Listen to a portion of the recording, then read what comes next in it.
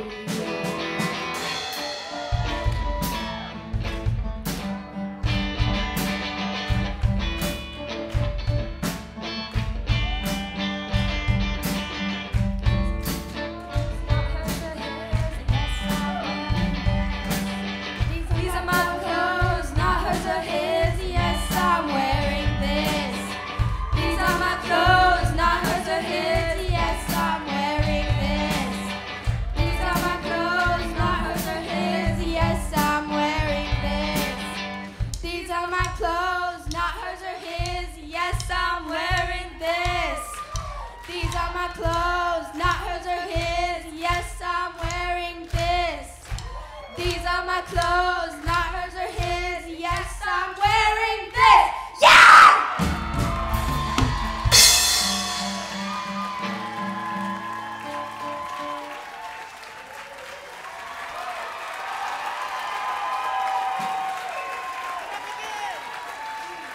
Give it up again for Bloody Slayers!